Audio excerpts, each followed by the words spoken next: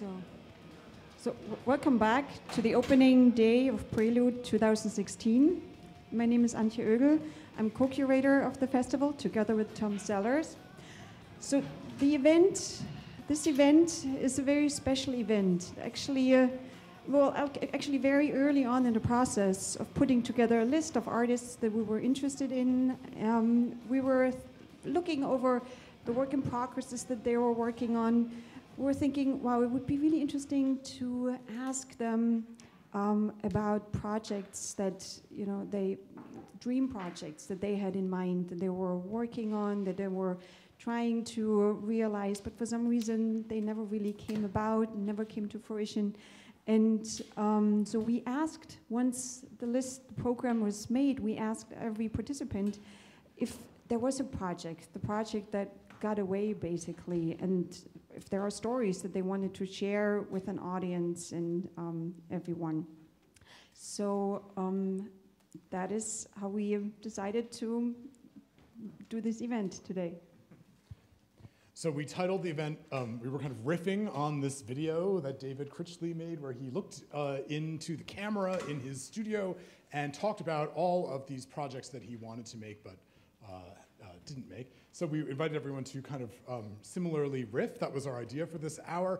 And this hour is uh, the biggest experiment in our festival. We don't know exactly how this is going to go. We didn't know how many, how many artists would want to talk about this or sign up, and we were really pleased uh, that we got a, a, a, nice handful of people who wanted to share.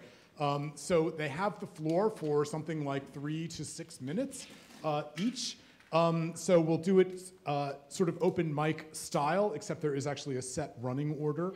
And we will ask um, each artist to come up and um, if you could introduce yourselves so that we don't have to get, keep getting up and to introduce you, um, but if you can just say who you are before you um, share. Some artists um, have images to share, uh, which would be projected onto the screen, some don't.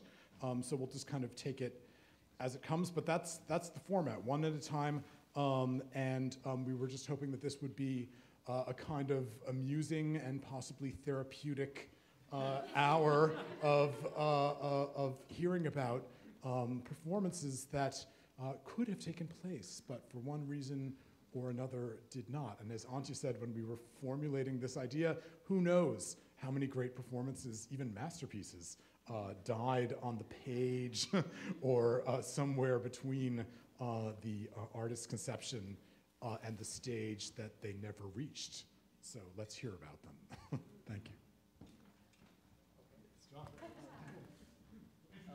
Okay, uh, I'm John Collins. I'm the artistic director of Elevator Repair Service. I feel like I was just here. Um, real quick, uh, I don't have any pictures to show because we abandoned this project twice and never took any pictures of it. Uh, but sort of in a funny way, the thing that I thought to talk about uh, did actually happen eventually, and it became Gatz, which was the show of ours that was seen probably by more people than anything else we've done. But it did start out as a project that didn't happen. Uh, first, uh, in 1999, we uh, put together just a little piece of the Great Gatsby to perform, and it had uh, lots of puppets in it, like lots of found objects with eyes stuck on them, like a copper bowl with eyes on it, and a shoe with sunglasses on it. And these were going to play uh, all of the parts. Um, and, uh, and James Hannaham played Tom wearing a ski mask some cast members survived, but that project, uh, we tried it, we were excited about it, and then we thought, well, maybe we should ask for the rights. And, uh, and they said, no, absolutely not. We cannot. so we threw it away, but they told us, the, the, the, people at the Fitzgerald estate said, but you know, we'd be happy for you to do uh, this other novel, Fitzgerald's last unfinished novel, The Love of the Last Tycoon. And that was the one that really did become the project that didn't happen because we spent about uh, six weeks trying to make that. Uh, we watched the movie version. We made a dance. Somebody brought in something called the Ronald McDonald dance. This was a thing that never saw the light of day and probably for the best. Um, we tried doing The Last Tycoon in the same way we had thought we were going to do The Great Gatsby with lots of little stupid puppets and things. And, uh, and then that was the one where we said, no, look, this is just absolutely not working. And that's really the one piece we, we, we threw away and never picked back up again. Uh, at that point, we said, this is not working, we'll, we'll do uh, the Bacchae. Instead. So. Later on, we did do The Great Gatsby, and it, it did work out, but not a- until it had become the piece we didn't do twice. Okay.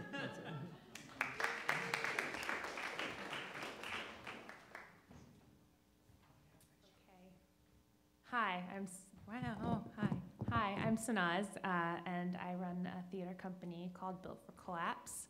And um, I want to say, I think we had a picture, but I don't know if it. Yeah. so it ex- exists in a form, um, sort of. Uh, so four years ago, we were on tour with a show, and um, we started working on another show. Uh, and then I had an idea for a different show, and suddenly there were all these ideas for shows coming up.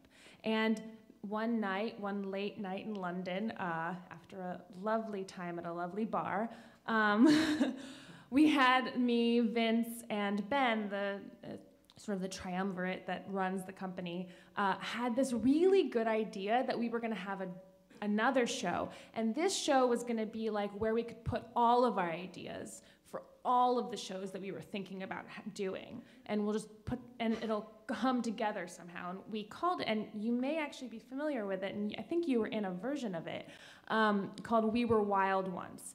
And I had just seen Nature Theater of Oklahoma, so I was like, well, we'll do it in episodes, because that's, that's a thing we could do. Um, and we had lots of great formalistic ideas. And the idea, I think, overall was to I don't even know why I brought this with me. the idea overall, the idea was um, uh, we had all these one off opportunities. But instead of trying to make the one off opportunities just little spurts, we were going to have it all build towards something. So each time we were given, uh, you know, 15 minutes um, at, an, at Dixon Place or whatever it was going to be, we were going to show a new, further developed version of this show that eventually would come together, all the episodes, and it would all make sense together.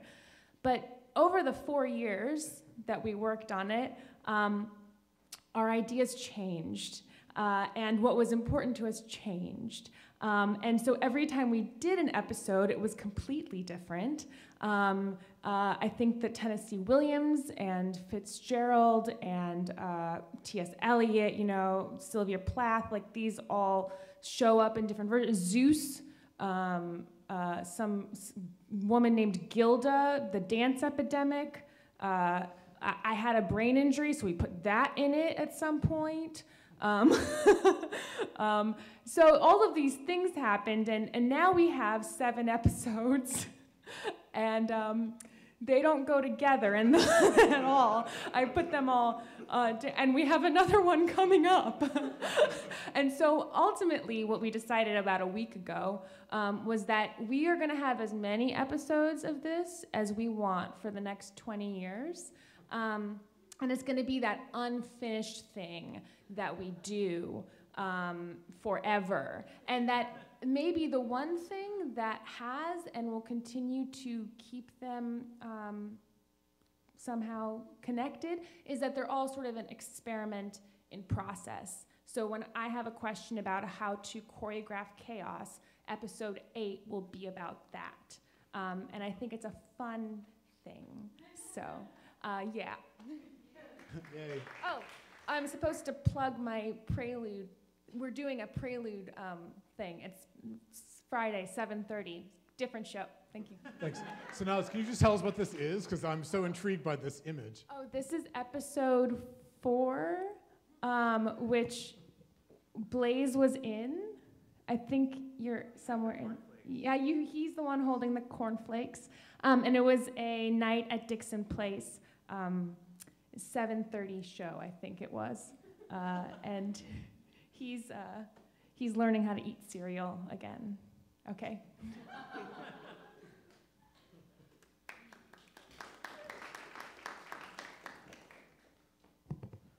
Uh, my name is Brad Burgess. I'm the artistic director of the Living Theater.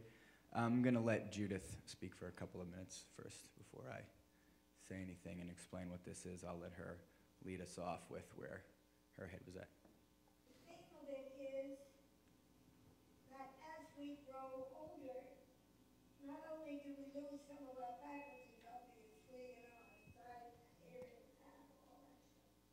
That we know, we lose some faculty, but what we gain, a positive view, an optimistic view of growing older, because at the same time, as we lose our physical strength, we gain a certain mental capacity.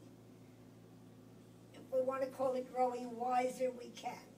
Or we can call it growing more compassionate, or more understanding of what life is about, or uh, all different kinds of things that people feel Yeah. that they've gained at the same time as they're losing something, so that there's this balance.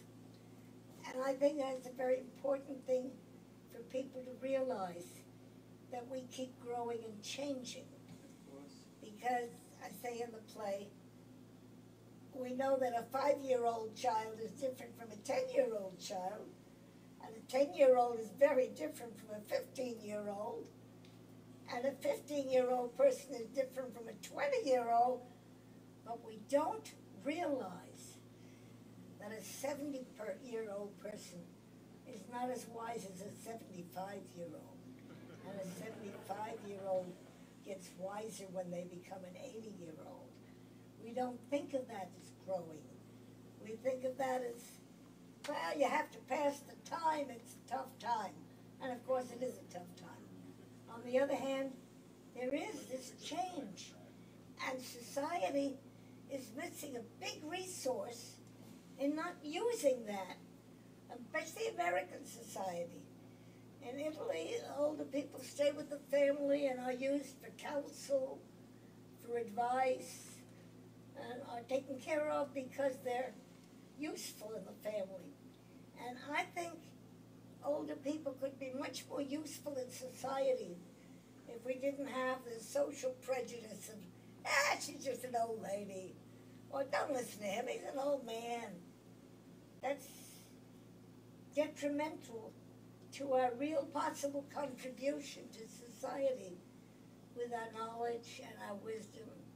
What would you say to a ninety-eight-year-old woman? I would say when you're 99, you'll be even smarter. Because that's what I am, ninety-eight. Wow. Yes, I am ninety-eight, You are 98. yes. My goodness, you look like 68.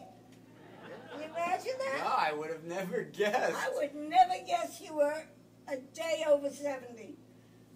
That's marvelous. You must be very good to yourself. Keep yourself looking so good. But that's wonderful. And I think, So I understand all that you're talking about. good. What I want to do So, um, this was for a play. I'm not sure what that music is. But it's appropriately sad, I guess. Um, this was for a play that Judith had called The Triumph of Time. And it was about uh, the life of the residents at the Actors Home that's run by um, the Actors Fund out in New Jersey. And we tried to work on it. We, we did some interviews. There are several interviews like this, and this 98 year old woman goes on to tell her life story and how she wound up at the Actors Home out in New Jersey. And it was, I would say, it was a societal failure. Uh, I was able to go see Judith two or three times a week because Frank has given me a job here at the Segal Center that's flexible, and so I could go out there and see her. And most of the people that lived out there would get one or two visitors every few months. Um, and so to coordinate anything with them was, was very difficult. The resources weren't there.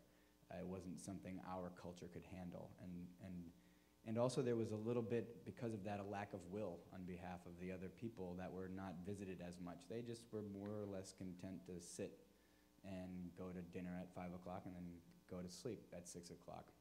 So trying to organize a rehearsal after dinner was impossible, and they had activities or physical therapy during the day, or um, and so I, the the idea of the play was this wonderful idea, but the just practicality of it and the financial reality of it, it just could never happen. And uh, I think that's it's that was a profound failure for us. It wasn't that Judith died and we didn't do it. We actually moved on from the project about a year and a half before she died because we just realized it's easier to bring her into New York and find a group of 20 somethings who are willing to do anything else. Um, so that's the story of the triumph of time. I'm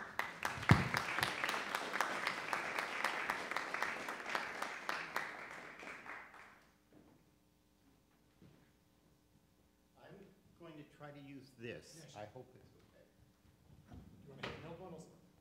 Hmm? I think that works. Yep, seems to be. Okay, thank you.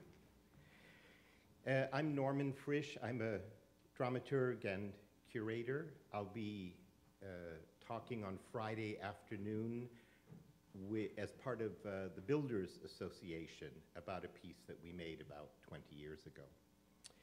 Uh, today, uh, I'm going to talk about a production that was jogged in my memory a couple weeks ago when Edward Albee died. People were posting lots of beautiful uh, photographs and video clips of various productions of his plays. And I remembered about nearly 25 years ago now, in um, 1992, I was living in Los Angeles. I was working on a series of arts festivals out there. And uh, the Museum of Contemporary Art in Los Angeles, MoCA, was doing a program of artists responding to AIDS. And in this program, uh, Ron Vawter was visiting Los Angeles and performing his show, Roy Cohn, Jack Smith. Ron Vawter was a wonderful actor who was a longtime member of the Wooster Group. And um, towards the end of his life, he uh, separated himself from the Wooster Group long enough to do a series of other projects. And one of them was the beautiful show, Roy Cohn, Jack Smith. And at the same time, Karen Finley, the performance artist and writer, was at MoCA uh, performing one of her pieces. And Ron and Karen had some time to hang out together in Los Angeles, and they were drinking. And they came up uh, with the idea of a production uh, for themselves of Albee's Who's Afraid of Virginia Woolf. They weren't entirely sure who would play Martha and who would play George, but or that they even necessarily had to decide. But um, but uh, it it was an idea that really tickled them, and they continued to talk about it and bat it back and forth for a while. My friend, the director Peter Sellers, was living in Los Angeles wor- working on these festivals, and uh, Ron enlisted Peter uh, as a prospective director on the project. And Peter talked to me about it. We had worked on things together. And during that winter of 1992 1993, back here in New York, Peter and Karen continued to get together. They would read the play. Ron felt fairly confident because he knew Albee um, that he might be able to persuade him to give them the rights to do some kind of version of the play. And they decided uh, to enlist two other actors to play Nick and Honey.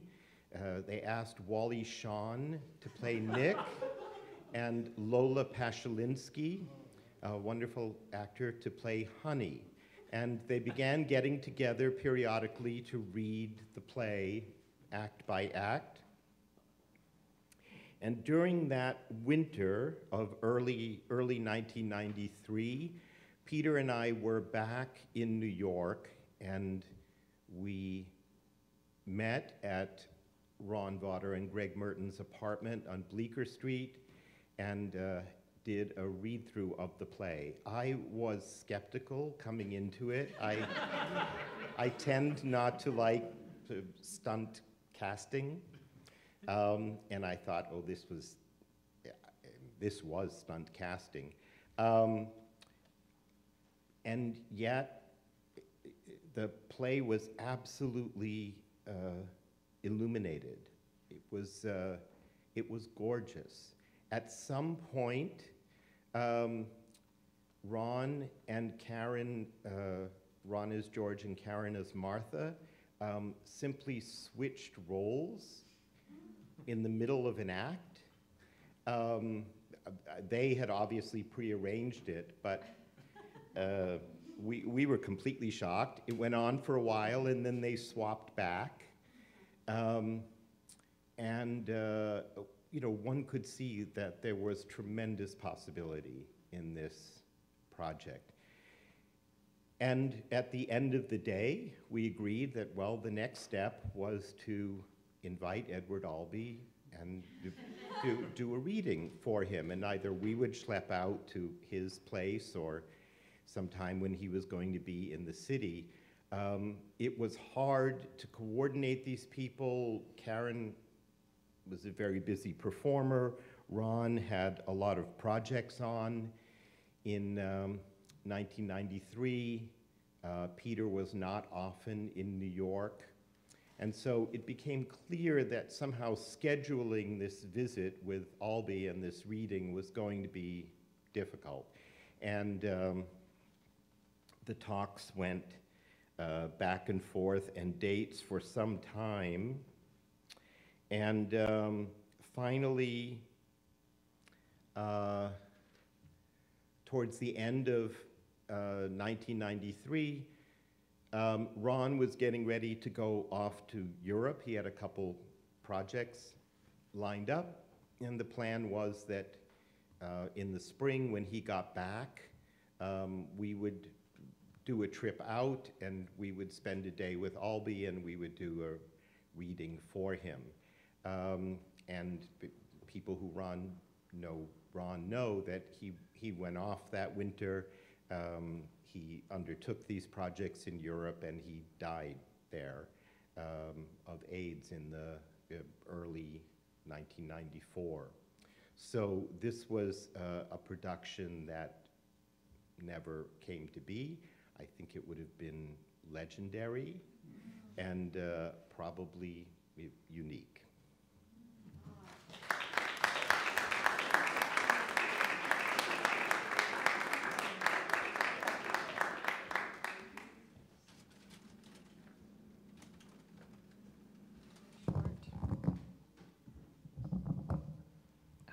Hi, I'm Stephanie Abel Horwitz representing Tiny Little Band. Um, we have a show that we abandoned, but it's way less of a failure than everybody else because we abandoned it very quickly. so uh, we had this idea to make a whisper tube show. I think because I was at a playground and I played with a whisper tube, and I thought, this is so fun. Let's make theater about it. And uh, so we had this idea to have whisper tubes on two sides of a wall, and the audience would come in on either side. And some of the whisper tubes would go to the other side, and some of them wouldn't. And there'd be like writing in some of them or sounds in some of them. And we wanted to try to sort of encourage people to maybe tell secrets through the whisper tubes. Like maybe you'd just be talking to another audience member. And then we were like, oh, that's too hard. Like, what are we gonna do? Get a lot of whisper tubes? And so we thought, okay, what if we tried this? Um, no whisper tubes. And it was a room with a lot of tables, and people came in, and there were performers at some of them, and you would like sit down and activate the performer. I'm not sure how this would have worked. But again, it was something about getting people to maybe accidentally interact or have a kind of intimate thing in a public space. And we never made it. We never even tried to make it. Um, I think, and maybe Sanaz agrees with this, uh, that sometimes we have ideas that are really a way for us to work out our bigger idea. And I think at the time we were making another show. We probably were. And somehow this is in that show. I have no idea how. And I asked Jerry if he thought and we don't remember. But um, sometimes that helps you figure something else out, or I think also in some way that feels that show feels like our aesthetic in a deep way that we're interested in this um, intimacy in a public forum, like right here. Um, so that was the Whisper Tube project. We're showing some of our new show, Your Hair Looked Great, tomorrow at 5 p.m. right here. Please come.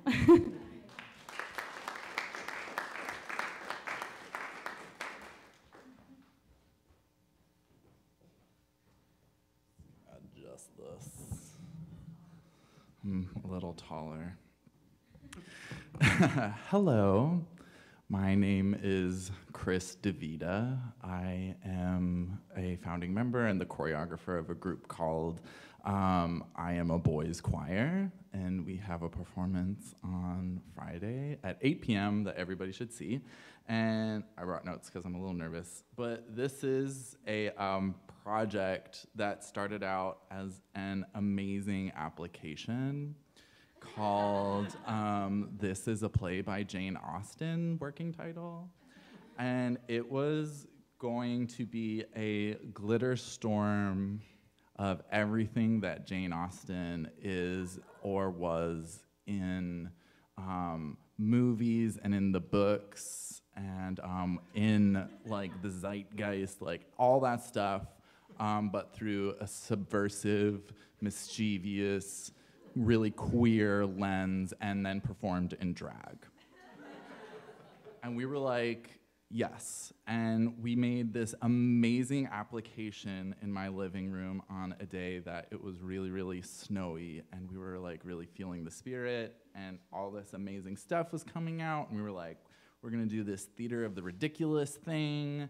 And um, we were trying to get people interested in um, giving us some like time and space to like work on this thing and we did it. We convinced them. We got six months of like free rehearsal space and we were like yes!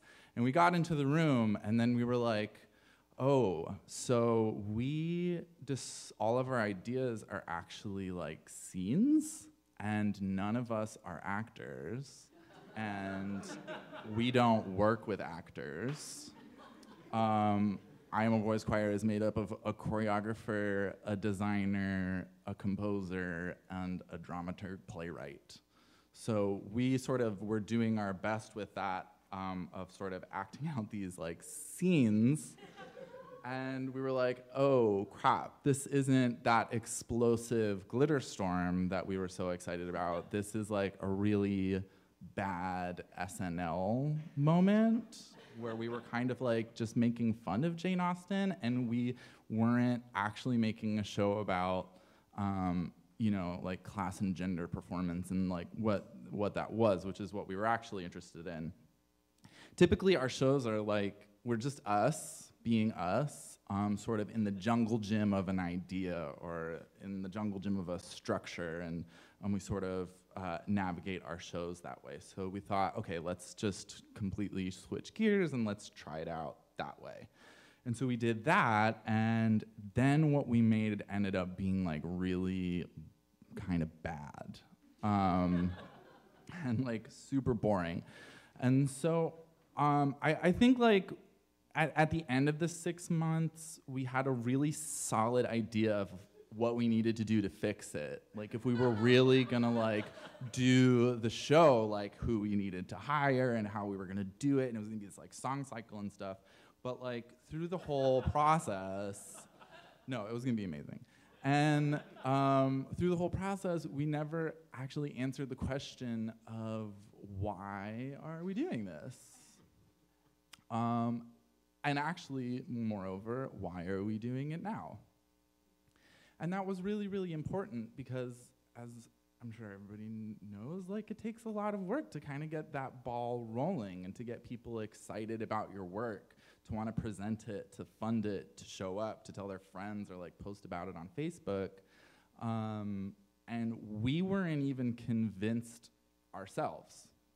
And um, I think that's ultimately why we kind of ended up not necessarily abandoning the project. It's like sitting on a shelf in case we ever do find an answer to why are we doing this and, and when are we doing this. And um, yeah, yeah, that's it. I'm the last one.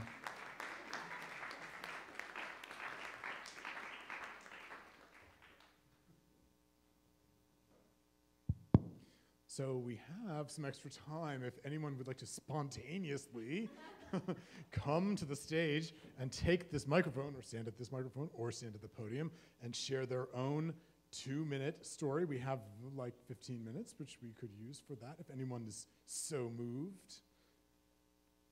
If you might be, raise your hand.